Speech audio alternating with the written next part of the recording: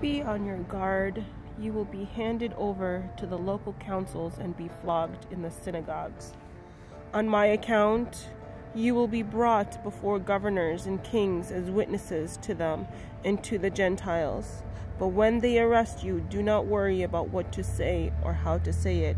At that time you will be given what to say, for it will not be you speaking, but the Spirit of your Father speaking through you.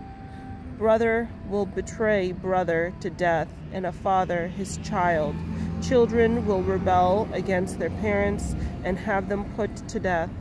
You will be hated by everyone because of me, but the one who stands firm to the end will be saved.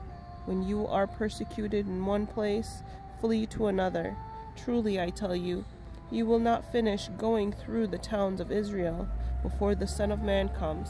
The student is not above the teacher, nor a servant above his master. It is enough for students to be like their teachers and servants like their masters. If the head of the house has been called Bez- Beelzebul, how much more the members of his household? So do not be afraid of them, for there is nothing concealed that will not be disclosed, or hidden that will not be made known. What I tell you in the dark, speak in the daylight. What is whispered in your ear, proclaim from the roofs. Do not be afraid of those who kill the body but cannot kill the soul. Rather be afraid of the one who can destroy both soul and body in hell. Are not two sparrows sold for a penny? Yet not one of them will fall to the ground outside of your Father's care. And even the very hairs of your head are all numbered. So don't be afraid. You are worth more than many sparrows. Whoever acknowledges me before others, I will also acknowledge before my Father in heaven.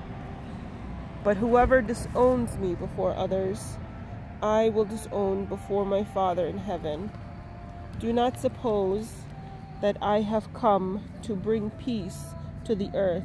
I did not come to bring peace, but a sword. For I have come to turn man against a man against his father, a daughter against her mother, a daughter-in-law against her mother-in-law.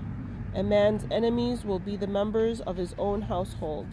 Anyone who loves their father or mother more than me is not worthy of me. Anyone who loves their son or daughter more than me is not worthy of me. Whoever does not take up their cross and follow me is not worthy of me. Whoever finds their life will lose it, and whoever loses their life for my sake will find it. Anyone who welcomes you welcomes me, and anyone who welcomes me welcomes the one who sent me.